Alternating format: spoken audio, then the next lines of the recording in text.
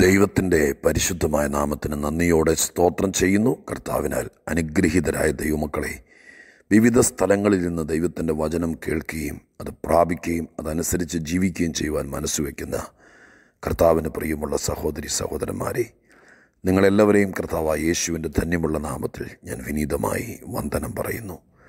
നമ്മുടെ ദൈവത്തിന്റെ കൃപകൾക്കും അനുഗ്രഹങ്ങൾക്കും നടത്തിപ്പുകൾക്കും നന്മകൾക്കും ദൈവത്തെ മനസ്സ് തുറന്ന് സ്തുതിച്ചുകൊണ്ട് എല്ലാ പുകഴ്ചയ്ക്കും കാരണഭൂതനായ കർത്താതി കർത്താവിന് ഒരായിരം നന്ദി കരയറ്റിക്കൊണ്ട് ഇന്നത്തെ ദൈവാലോചനയ്ക്ക് വേണ്ടി ദാനിയൽ പ്രവചനത്തിലേക്ക് നമ്മുടെ ശ്രദ്ധയെ തിരിക്കുകയാണ് ദാനിയേൽ പ്രവചനം രണ്ടാം അധ്യായം പതിമൂന്ന് മുതൽ താഴേക്കുള്ള ഒന്ന് രണ്ട് വാക്യങ്ങൾ ഞാൻ നിങ്ങളെ വായിച്ചു കേൾപ്പിക്കാം.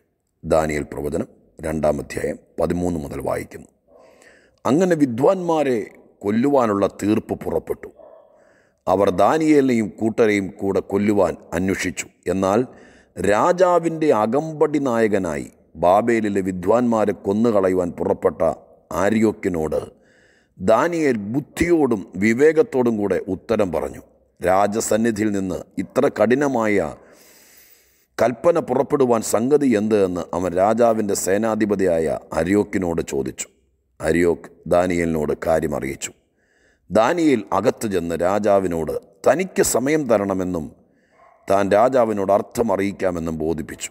പിന്നെ ദാനിയേൽ വീട്ടിൽ ചെന്ന് താനും കൂട്ടുകാരും ബാബേലിലെ വിശേഷം വിദ്വാൻമാരോട് ശേഷം വിദ്വാൻമാരോടുകൂടെ നശിച്ചു പോകാതിരിക്കേണ്ടതിന് ഈ രഹസ്യത്തെക്കുറിച്ച് സ്വർഗത്തനായ ദൈവ സ്വർഗസ്ഥനായ ദൈവത്തിന്റെ കരുണയെ അപേക്ഷിപ്പാൻ തക്കവണ്ണം കൂട്ടുകാരായ ഹനന്യാവോടും മീഷായിലിനോടും അസരിയാവിനോടും കാര്യം അറിയിച്ചു. ദാനിയേൽ പ്രവചനത്തിന്റെ ആമുഖ്യ അധ്യായങ്ങളിൽ ദാനിയേൽ അഭിമുഖീകരിക്കുന്ന ആദ്യത്തെ ഒരു പ്രശ്നമെന്ന് വേണമെങ്കിൽ പറയാം. ഫസ്റ്റ് അവർ എരുഷലേമിൽ നിന്ന് ബാബിനോണി ചെന്നപ്പോൾ ആഹാര സംബന്ധമായ കാര്യങ്ങൾക്ക് അവർ ചില ദൃഢമായിരിക്കുന്ന തീരുമാനമെടുത്തു.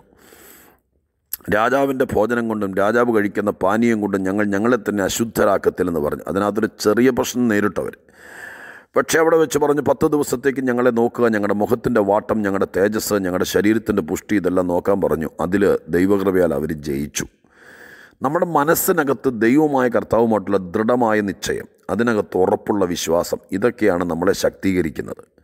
കഴിക്കുന്ന ആഹാരത്തേക്കാൾ നമുക്ക് തരുന്ന മറ്റെന്തിനേക്കാൾ നമ്മളും ദൈവമായിട്ടുള്ള ഇന്നർ റിലേഷൻ അതാ ശരിക്കും ദാനിയലിന്റെ പുസ്തകത്തിന്റെ ഒന്നാം അധ്യായത്തിനകത്ത് അവർ അവരെ തന്നെ സമർപ്പിച്ചിട്ട് അവരൊരു കോൺഫിഡന്റ് അവരുടെ ഉള്ളത്തിന്റെ ഉള്ളിലെ ബലം.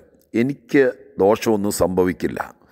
മറ്റുള്ളവർ കഴിക്കുന്ന കഴിച്ചില്ലെങ്കിലും ദൈവത്തിന്റെ കൃപ എന്റെ മേലുള്ളതുകൊണ്ട് ഒരു പോരായ്മയും വരത്തില്ല എന്നുള്ള ഒരു ആത്മബന്ധം ദൈവമായിട്ട്. തോന്നലല്ലത് ശുഭാപ്തി വിശ്വാസം അല്ലത് ദൈവവുമായിട്ടുള്ള ബന്ധത്തിന്റെ പുറത്തുള്ള ദൃഢമായ തീരുമാനം. അതങ്ങ് വിജയിച്ചു. ഒന്നാം അധ്യായത്തിൽ ആ സംഭവം ദൈവസന്നിധിയിൽ തീരുമാനമെടുത്തു. പത്ത് ദിവസം കഴിഞ്ഞപ്പോൾ കാര്യങ്ങൾക്ക് നീക്കുപോക്ക് വന്നു. അവർ വിചാരിച്ചതുപോലല്ല. നല്ല മൃഷ്ടാന്ത ഭോജനം കഴിച്ചവരെക്കാൾ തേജസ് കൊണ്ടും ഓജസ് കൊണ്ടും ആരോഗ്യം കൊണ്ടും കാഴ്ച കൊണ്ടും അവർ മിടുക്കരായി മാറി. അതിൽ തന്നെ അവരുടെ ഒന്നാം കടമ്പ കടക്കുകയാണ്. ദാനിയലിന്റെ പുസ്തകത്തിൽ താൻ അഭിമുഖിക്കുന്ന അതിപ്രധാനമായിരിക്കുന്ന രണ്ടാം പോരാട്ടമാണ് രണ്ടാമത്തെ അധ്യായത്തിൽ കാണുന്നത്. മറ്റൊന്നുമല്ല രാജാവ് ഒരു സ്വപ്നം കണ്ടു. രാജാവിന്റെ സ്വപ്നം നേരം വെളുത്തപ്പോഴത്തേക്കും രാജാവ് മറന്നുപോയി. ഇവരാരും ചെയ്ത കുറ്റമല്ല. അങ്ങേര് സ്വപ്നം കണ്ടു അങ്ങേര് തന്നെ മറന്നുപോയി. അതിനിപ്പോൾ ഈ ഇവരെന്ത് ചെയ്യാൻ പറ്റും? പക്ഷെ രാജഭരണകാലമല്ലേ? പ്രധാനപ്പെട്ട് ബാബിലോൺ രാജാവിന്റെ കാലഘട്ടമല്ലേ? അദ്ദേഹം നേരം എടുത്തപ്പോൾ വിദ്വാൻമാരെല്ലാം വിളിച്ചു വരുത്തിയിട്ട് തന്റെ സ്വപ്നം നഷ്ടപ്പെട്ടത് തിരിച്ചു കിട്ടണം. പലരോട് ചോദിച്ചു കൊട്ടാര വിദ്വാൻമാരൊക്കെ പറഞ്ഞു കൈമറത്തി കാണിച്ചു അവർക്കൊന്നും ഇത് പിടിച്ചെടുക്കാൻ പറ്റിയാൽ ദാനിയേലും അവരുടെ അകത്ത് പരിചാരണത്തിന് വേണ്ടി നിൽക്കുന്ന ജോലിക്കാരിൽ ഒരാളായിരിക്കുകയാൽ ദാനിയേലിനെയും കൂട്ടരെയും അവിടെ മുതൽ നമ്മുടെ ചിന്ത തുടങ്ങിയാണ് ദാനിയേലിനെയും കൂട്ടരെയും കൂടി കൊല്ലുവാൻ അന്വേഷിച്ചു. അപ്പോൾ ദാനിയേലിനെയും കൊല്ലാൻ വേണ്ടി ദാനിയേലിന്റെ കൂടെയുള്ള ഏറ്റവും അടുത്ത് നിൽക്കുന്ന സഹപ്രവർത്തകരെ കൂടി കൊല്ലാൻ വേണ്ടിയിട്ടുള്ള പ്ലാനുകളെല്ലാം തയ്യാറായി കൊല്ലാൻ വേണ്ടി അവരെ അന്വേഷിച്ചു. അപ്പോൾ മരണം വാതുക്കെ വന്ന് നിൽക്കുകയാണ്. വാൾ തലയ്ക്ക് മീതെ നിൽക്കുകയാണ്. കൊല്ലാനുള്ള ഓർഡർ വന്നിരിക്കുകയാണ്. ഇനി വിസ്താരവും തെളിവെടുപ്പൊന്നും വേണ്ട.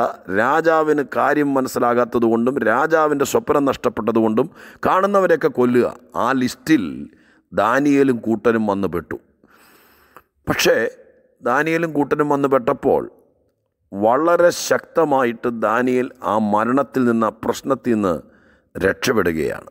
അതാണ് ഇന്നത്തെ ധ്യാനത്തിന്റെ വിഷയം. എങ്ങനെയാണ് ദാനിയൽ രക്ഷപ്പെട്ടത്? മൂന്ന് കാര്യങ്ങൾ അവിടെ സംഭവിച്ചു. ആ മൂന്ന് കാര്യങ്ങൾ അനുദിന ജീവിതത്തിന്റെ അനുഗ്രഹത്തിനും ആത്മീകരെന്ന നിലയ്ക്ക് മുന്നോട്ടുള്ള ഗമനങ്ങളിൽ മനസ്സിനകത്ത് ഒരു ടിപ്പിക്കായി കരുതിയിരിക്കുന്നത് എപ്പോഴും നല്ലതാണ്. എന്താണ് ആ മൂന്ന് കാര്യങ്ങൾ? ഒന്ന് ദാനിയേൽ കൊല്ലാൻ വേണ്ടി വന്ന രാജവിചാരകനോട് ബുദ്ധിയോടെ ഇടപെട്ടു. അങ്ങനെ അവിടെ എഴുതിയിരിക്കുന്നത്. ബുദ്ധിയോടും വിവേകത്തോടും കൂടെ ഉത്തരം പറഞ്ഞു. കൊന്നുകളയാൻ വേണ്ടിയിട്ട് ദാനിയലിന്റെ അടുക്കലേക്ക് വരികയാണ്. വാളുമായി വരികയാണ്. വേറൊരു ഭാഷ പറഞ്ഞ മരണം നേർക്ക് നേരെ കയറി വരികയാണ്.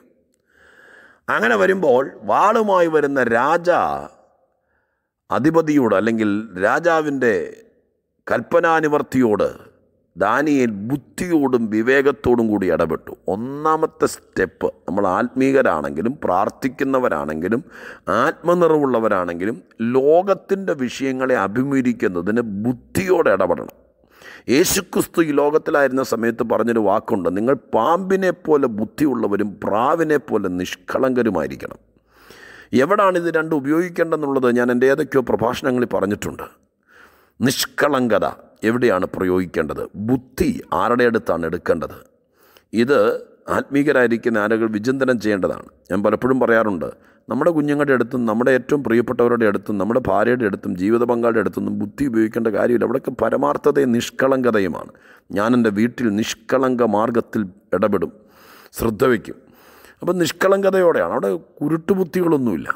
അവിടെ തന്ത്രപരമായി മറച്ചു വയ്ക്കാനൊന്നുമില്ല കയ്യിലിരിപ്പ് ദോഷമാണെങ്കിലും എന്തെങ്കിലും വക്രഗതി ഉണ്ടെങ്കിൽ മാത്രമേ വീടിനകത്തും ജീവിത പങ്കാളിയുടെ മുമ്പിലൊക്കെ ബുദ്ധിയോടെ ഇടപെടേണ്ട കാര്യമുള്ളൂ. ഇല്ലെങ്കിൽ നിഷ്കളങ്കതയോടെ പേഴ്സ് മേശപ്പുറത്ത് കൊണ്ടുവയ്ക്കുക. അതിനകത്തൊന്നും വേറെ മുറച്ച് വെക്കാനില്ലെങ്കിൽ നമ്മുടെ മൊബൈൽ ഫോണും കാര്യങ്ങളൊക്കെ ഓപ്പൺ ആയിട്ടിടാം. എന്തുകൊണ്ടാണ് സ്തോത്രം. നമുക്ക് മറച്ചു മറച്ച് വെക്കാനില്ലെങ്കിൽ. നമ്മുടെ കമ്പ്യൂട്ടർ എന്തിനാ ലോക്ക് ചെയ്ത് മുറിയും പൂട്ടി വെക്കണത്. അതിനകത്ത് എന്തെങ്കിലുമൊക്കെ നിഗൂഢതകൾ ഉണ്ടെങ്കിൽ മാത്രമേ ബുദ്ധിപരമായിട്ട് ആ കാര്യത്തിനകത്തൊക്കെ ചെയ്യേണ്ട കാര്യമുള്ളൂ. ഇല്ലെങ്കിൽ ആരും ഒന്ന് നോക്കിയോട്ടെ എനിക്കെന്താ? ഞാൻ എന്റേതായിരിക്കുന്ന നിലവാരത്തിനകത്ത് പരമാർത്ഥതയോടെ പോകുന്നു. അതാണെങ്കിൽ ബുദ്ധി ഉപയോഗിക്കേണ്ട കാര്യമില്ല. എന്നാൽ ലോകത്തിന്റെ മുമ്പിൽ നമ്മളെ തകർക്കാൻ നമ്മളെ നശിപ്പിക്കാൻ നമ്മളെ ഇല്ലാതാക്കാൻ വേണ്ടി ശത്രു ഉപയോഗിക്കുന്നത് ലോകത്തെയാണ്. ലോകശക്തികളുടെ മുമ്പിൽ ബുദ്ധിയോടെ ഇടപെടണം. ദാനിയൽ ഒന്നാമത്തെ കാര്യം ചെയ്തു ബുദ്ധിയോടെ ഇടപെട്ടു. എല്ലാ കാര്യത്തിനും ബുദ്ധിയോടെ. നിനക്കെതിരെ എതിരാളിയുണ്ട് ശത്രുവുണ്ട് എവിടെയും ഉണ്ടാകുന്നുള്ള ആ ചിന്ത നമ്മളെ പരമാർത്ഥതയോടെ എല്ലാവരോടും നിഷ്കളങ്കതയോടെ അല്ല ഇടപെടേണ്ടത്. നിഷ്കളങ്കതയോടെ ഇടപെടേണ്ടവരോട് ഇടപെടണം. വരവ് കാണുമ്പോൾ അറിയാം കൊല്ലാനാണോ തിന്നാനാണോ നിൽക്കാനാണോ സ്നേഹിക്കാനാണോ എന്ന്. അവിടെ ആ ബുദ്ധിയും വിവേകവും വേണ്ടത്.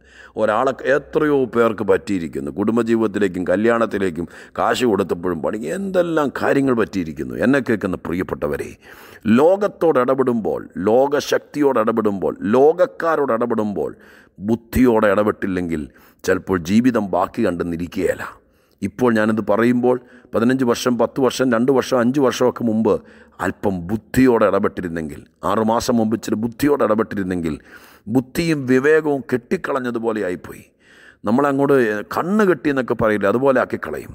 ചില തീരുമാനങ്ങൾ ചില വലയിൽ ചെന്ന് വീഴുക ചിലരുടെ കൂടെ പോവുക ചില ചില കാര്യങ്ങൾ ഏറ്റവും സ്നേഹിച്ചവരെയും കൂടെ നിന്നവരെയൊക്കെ മറന്നിട്ട് അപ്പം പറഞ്ഞപ്പോഴൊക്കെ അതൊന്നും അനുസരിക്കാതെ അമ്മ പറഞ്ഞപ്പോൾ അതൊന്നും കേൾക്കാതെ നമ്മൾ മണ്ടത്തരം കാണിച്ചു. ബുദ്ധിയോടെ ഇടപെട്ടില്ല. ഞാൻ ആരാന്ന് മറന്നു. വിവേകത്തോടു കൂടി മറുപടി പറഞ്ഞില്ല. തീരുമാനമെടുത്തപ്പോൾ മണ്ടത്തരം കാണിച്ചു. അതുകൊണ്ട് ഇന്ന് അനുഭവിക്കുകയല്ലേ? തിളച്ച എണ്ണ കുടിച്ചതുപോലെ പൊള്ളി പൊളിഞ്ഞ് നിൽക്കുമല്ലേ എന്തു ചെയ്യാൻ പറ്റും?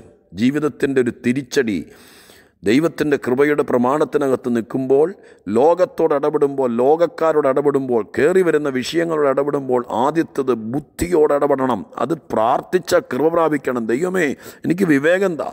ഒരു തീരുമാനമെടുക്കുമ്പോൾ എന്തിനും ദൈവത്തിന്റെ ഇഷ്ടമില്ലാത്തത് തന്നിഷ്ടത്തിൽ ചെന്ന് വീഴാതിരിപ്പാൻ എനിക്ക് ബുദ്ധിതാ എന്ന് ദൈവത്തോട് പറയണം. ഒന്ന് രണ്ടാമത്തെ കാര്യം ദാനിയേൽ അവിടെ രാജാവിന്റെ അകത്ത് അകത്ത് ചെന്നു ഒളിച്ചു പോയില്ല തലേ തുണിയിട്ട് ഓടിപ്പോയില്ല വിഷയത്തെ ഫേസ് ചെയ്തു അകത്ത് ചെന്നു രാജാവിന്റെ അടുക്ക് കൊല്ലാൻ വേണ്ടി വന്ന അരിയോക്ക് രാജാവിന്റെ ആജ്ഞാനുവർത്തിയാണ്. എന്നാൽ ഇതിന്റെ കാതലായ പുള്ളി രാജാവാണ്. ഞാനവിടെ ഒരു വ്യാഖ്യാനം പറയട്ടെ. നിനക്ക് നേരെ കയറി വരുന്നത് സ്തോത്രം വിഷയങ്ങളായിരിക്കാം. എന്നാൽ വിഷയങ്ങളുടെ പുറകിൽ ഒരുത്തനുണ്ട് രാജാവ്. അവൻ സാത്താന് നിഴലാണ്.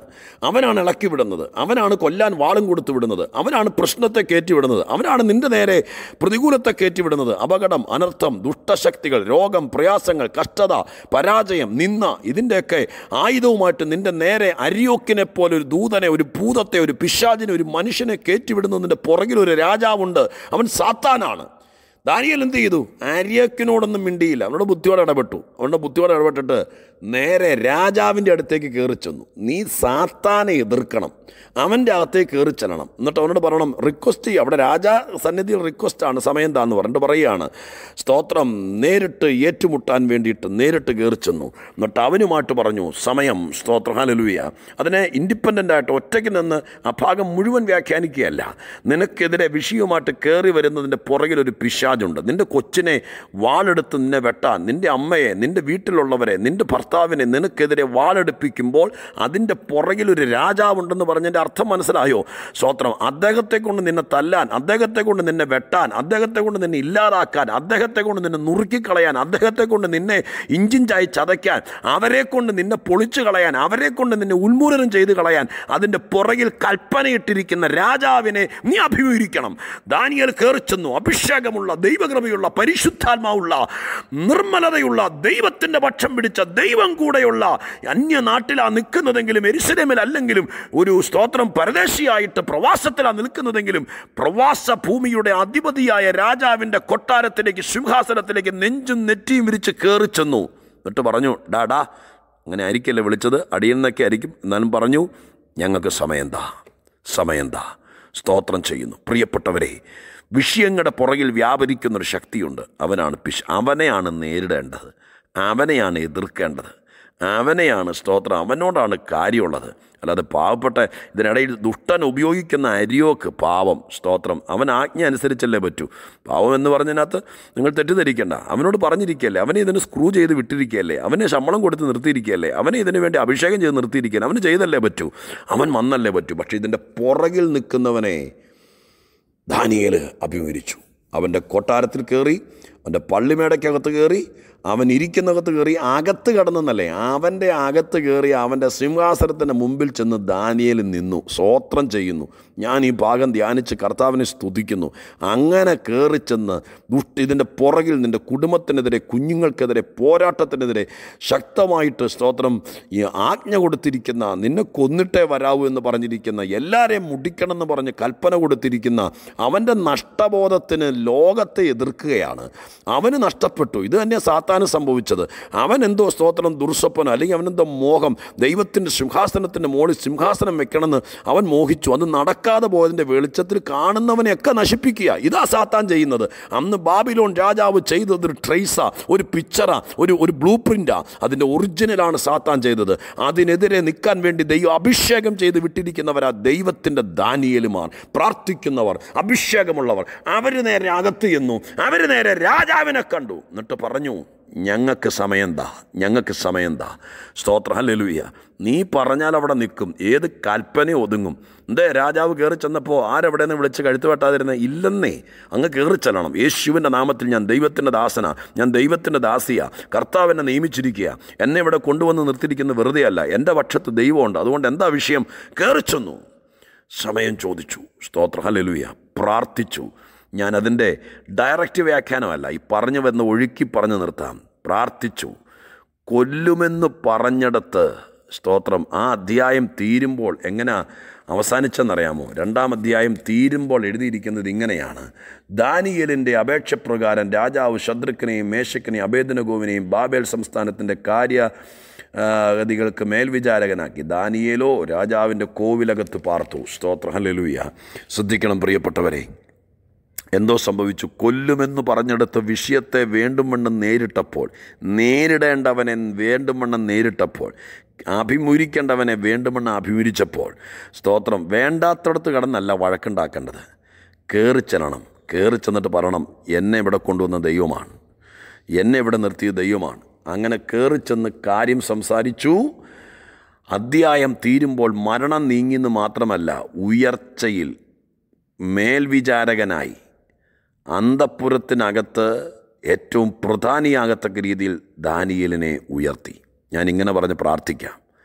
രണ്ട് മൂന്ന് കാര്യങ്ങൾ. ഒന്ന് ബുദ്ധിയോടെ വേണം ലോകത്തോട് ഇടപെടാൻ. രണ്ട് നിനക്കെതിരെ വാളും വടിയുമായി ദുഷ്ടൻ നിർത്തിയിരിക്കുന്ന ശക്തികളുണ്ട് പ്രശ്നങ്ങളുണ്ട്. അതിന്റെ വട്ടത്ത് കിടന്ന് കറങ്ങരുത്. നേരെ അതിന്റെ പുറകിലെ അധികാരിയായിരിക്കുന്ന പിശാചിന്റെ മുമ്പിൽ എതിർക്കണം. അവന്റെ മുമ്പിൽ ചെന്നിട്ട് പറഞ്ഞു യേശുവിന്റെ നാമത്തിൽ എന്റെ കുടുംബമാണത് എന്റെ കുഞ്ഞുങ്ങളാണത് സമ്മതിക്കുകയല്ല. സ്തോത്രം. അതിനുശേഷം ദൈവത്തിന്റെ സന്നിധിയിൽ പ്രാർത്ഥിക്കണം. മൂന്ന് കാര്യങ്ങൾ നടന്നു. കൂട്ടുകാരൊത്ത് ദൈവത്തിന്റെ സന്നിധിയിൽ പ്രാർത്ഥിച്ചു. പ്രാർത്ഥന കഴിഞ്ഞപ്പോൾ വിഷയം ഒഴിഞ്ഞു പോയെന്ന് മാത്രമല്ല പരീക്ഷാഘട്ടത്തെ ജയിച്ചപ്പോൾ ഉയർച്ച ലഭിച്ചു. ഇനി സമയത്ത് ചില വിഷയങ്ങളെ ഫേസ് ചെയ്യുന്ന പ്രിയപ്പെട്ടവർ ചില കാര്യങ്ങൾ തലയ്ക്ക് മുകളിൽ നിൽക്കുന്നു. മരണം വരെ ജീവിതം മുമ്പിലില്ല. ഇനി ഒന്നുമില്ല. നിൽക്കുന്നിടത്തെ തട്ട് ഒടിഞ്ഞ് താഴെ പോകുന്നത് പോലെ തോന്നുക എന്ത് ചെയ്യണമെന്നറിയില്ല. വിധി വന്നിരിക്കുന്നു എന്നൊക്കെ പറഞ്ഞിരിക്കുന്ന വലിയ പ്രശ്നം. ആ പ്രശ്നത്തിന്റെ പുറകിൽ നിൽക്കുന്ന ദുഷ്ടശക്തിയെ നീ ഫേസ് ചെയ്യുക യേശുവിന്റെ നാമത്തിൽ. അത് കഴിഞ്ഞ് ദൈവത്തോട് പ്രാർത്ഥിക്കുക സമയം ചോദിച്ചു. സ്തോത്രം. ബുദ്ധിയോട് ഇടപെട്ടു. ദൈവത്തോട് പ്രാർത്ഥിച്ചു.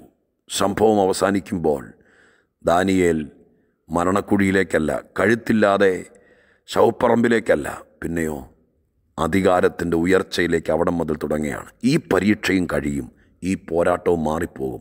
ഇത് കഴിയുമ്പോൾ പ്രാർത്ഥന കേൾക്കുന്ന ദൈവം നിന്നെ ഉയർത്തും. അഭിമുഖീകരിക്കേണ്ട വിഷയങ്ങളെ അഭിമുഖീകരിക്കേണ്ട വിധത്തിൽ ബുദ്ധിയോടും പ്രാർത്ഥനയോടും കൂടെ അഭിമുഖീകരിക്കുക. എതിർക്കേണ്ടവന്റെ മുമ്പിലേക്ക് ആത്മാവിൽ കയറി ചെല്ലുക. ബാക്കി ദൈവം നോക്കിക്കോളും. പ്രാർത്ഥിക്കട്ടെ. പരിശുദ്ധ ദൈവമേ ഞങ്ങളുടെ സ്വർഗീയ പിതാവേ. ഈ ലോകം സാത്താന്റെ അധീനതയിലാണ്. അതിന്റെ തനി പകർപ്പ് വേദപുസ്തകത്തിലെ പല ഭാഗത്ത് കാണാൻ കഴിയുന്നു. ദൈവമായ കർത്താവെ ഈ ഭാഗം ഞങ്ങൾ പഠിക്കുമ്പോൾ മനസ്സിലാക്കുന്നു. ദൈവമായ കർത്താവിന്റെ തിരുസന്നിധിയിൽ ദാനിയലക്ക് ബാബിലോണിലായിരിക്കുന്ന പോലെ ഞങ്ങളിപ്പോൾ ആയിരിക്കുന്നത്. ലോകത്തിന്റെ അധിപതിയായിരിക്കുന്ന ദുഷ്ടപിഷാദിന്റെ സ്വതന്ത്രം ഭരണസീമയാണ്. ഈ ലോകവും അതിന്റെ സകല പ്രതാപവും ദുഷ്ടനായ പിഷാദിന്റെ അധീനതയിൽ കിടക്കുകയാണ്. പക്ഷേ അവിടെയും ദൈവജനത്തിന് ഉയർച്ചയുണ്ട്. അവിടെയും ദൈവജനത്തിന് വിഷയങ്ങൾക്ക് പരിഹാരമുണ്ട്. ദാനിയേൽ അന്യനാട്ടിൽ ഉയർത്തപ്പെട്ടു. ബുദ്ധിയോട് ഇടപെട്ടതുകൊണ്ടും അഭിമുഖിക്കേണ്ടവനെ അഭിമുഖിക്കേണ്ട വിധത്തിൽ അഭിമുഖിച്ചതുകൊണ്ടും പ്രാർത്ഥിച്ചതുകൊണ്ടും മൂന്ന് കാര്യങ്ങൾ ലോകത്തിന്റെ മുമ്പിൽ നിൽക്കുമ്പോൾ പൈശാചിക മണ്ഡലങ്ങളുടെ മുമ്പിൽ നിൽക്കുമ്പോൾ മൂന്ന് കാര്യങ്ങൾ വേണ്ടും വണ്ണം കൈകാര്യം ചെയ്തതുകൊണ്ട് ദാനിയൽ താണുപോയില്ല ഉയർന്നു. എന്റെ വചനം കേൾക്കുന്ന അങ്ങയുടെ വചനം കേൾക്കുന്ന ഈ ദൈവമക്കളെ എല്ലാവരെയും ഈ വചനം പറഞ്ഞ് ബോധവൽക്കരിച്ചുകൊണ്ട് പ്രാർത്ഥിക്കുന്നു. അങ്ങയുടെ മക്കൾക്ക് അനുഗ്രഹം ഉണ്ടാകട്ടെ നന്മയുണ്ടാകട്ടെ. ഈ ലോകത്തിൽ ഒരിക്കലും ദുഷ്ടന്റെ വാൾമുനയിൽ ഇവർ തീരരുത്. വചനം കേൾക്കുന്നവർ അനുഗ്രഹിക്കപ്പെടട്ടെ. അവർ ഉയർച്ച തന്നെ പ്രാപിക്കട്ടെ. യേശുവിൻ നാമത്തിൽ പ്രാർത്ഥിക്കുന്നു. കേൾക്കണമേ സ്വർഗീയ പിതാവാം ദൈവമേ. ആമേൻ.